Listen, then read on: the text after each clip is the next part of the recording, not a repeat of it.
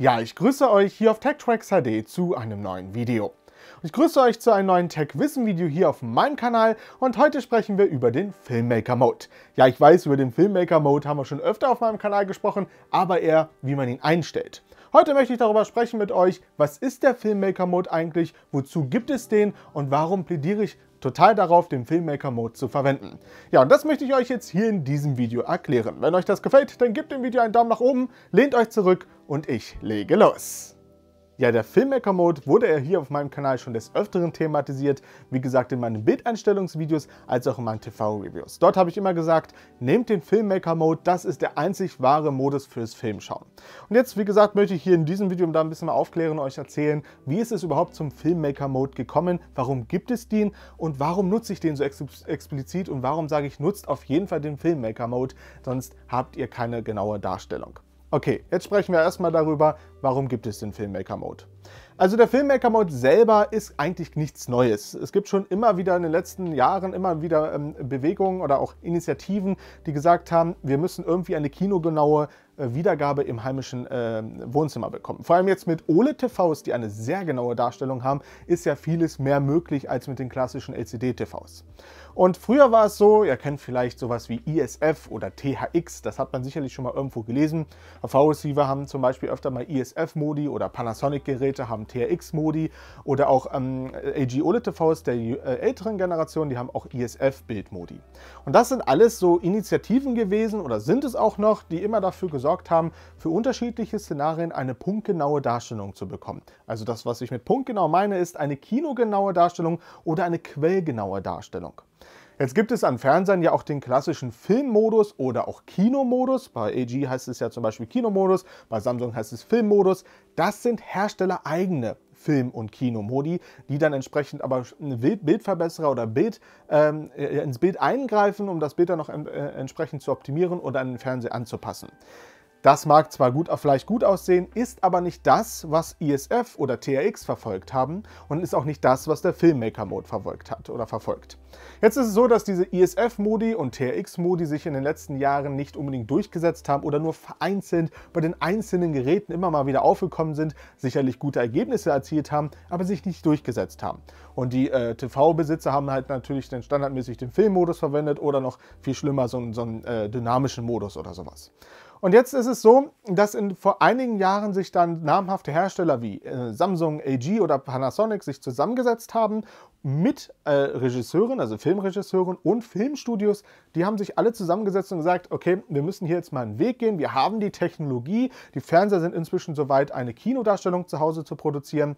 Wir sollten mal einen, auf einen Nenner kommen und eine Technologie oder einen Bildmodus an den Start bringen, der das alles abdeckt. Und dadurch kam dann die Filmmaker-Mode-Initiative, die dafür gesorgt hat, dass die Fernseher von Samsung, LG und Panasonic den Filmmaker-Mode bekommen, gemäß der Norm, die sich in diesem Gremium quasi zusammen entwickelt hat. Da hat zum Beispiel ein großer äh, Regisseur wie äh, James Cameron dran mitgearbeitet. Und das heißt ja letztendlich schon was. Vor allem so ein Regisseur, der auf so hochmoderne und Technologie, Technologie am höchsten Limit Filme dreht, auch teilweise in IMAX, dass man hier natürlich davon ausgehen kann, okay, da ist auch ein bisschen Know-how hinter.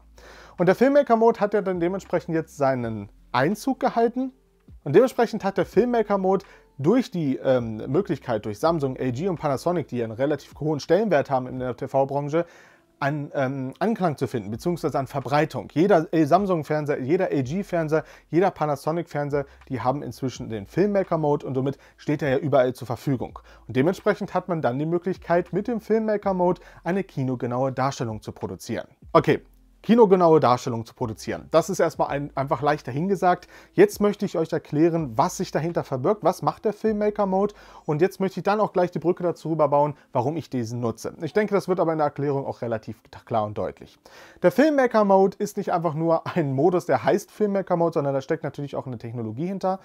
Es gibt bei mir auf meinem Kanal ja äh, Normbildeinstellungen und das sind äh, Videos zu zum Beispiel LG OLED TVs, die die absolute Filmmaker-Mode-Norm einhalten, sodass ihr quasi mit dem Filmmaker-Mode das beste Kinobild bekommt.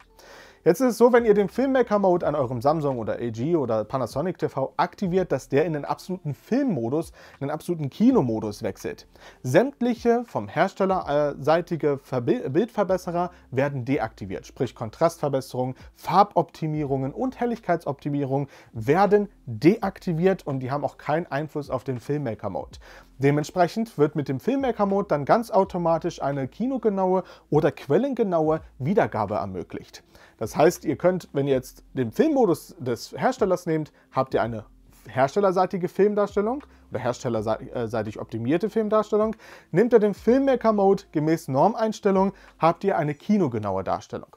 Da sage ich auch in meinen Bildeinstellungsvideos immer mit diesem Thema Overscan oder Just Scan oder an dem Bildschirm anpassen, dass ich das immer sage, das solltet ihr deaktivieren, wenn ihr das nach Filmmaker Mode Norm machen wollt. Denn die Filmmaker Mode Norm sagt äh, das klar vor, dass das deaktiviert werden soll, sodass dann entsprechend dieser leichte Kino-Projektoreffekt entsteht. Ja, auf jeden Fall ist es so, wenn ihr den Filmmaker-Mode aktiviert, geht der Fernseher in den Filmmodus über, der seitens der Filmmaker-Mode-Initiative quasi vorgegeben wird und der Fernseher deaktiviert sämtliche Bildverbesserungen.